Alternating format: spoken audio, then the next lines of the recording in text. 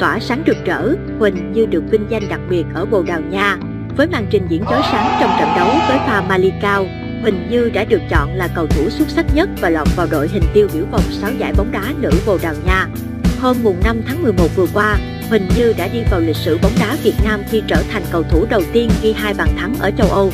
Tiền đạo của đội nữ Việt Nam lập cú đúc và đóng góp một đường kiến tạo thành bàn giúp Lan SC có trận hòa 3, ba trước pha Malikao.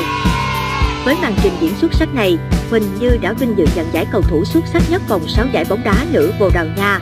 Đây là vinh dự đặc biệt với ngôi sao người Việt Nam, ngay cả cầu thủ ở cấp độ châu Á cũng không dễ dàng nhận được. Bên cạnh đó, Huỳnh Như còn lọt vào đội hình tiêu biểu vòng 6. Sau màn trình diễn này, tình hình có thể sẽ khác đối với cá nhân Huỳnh Như. Điều quan trọng, việc tỏa sáng trong trận đấu vừa qua giúp Huỳnh đi ghi điểm trong mắt huấn luyện viên Daniel Pacheco.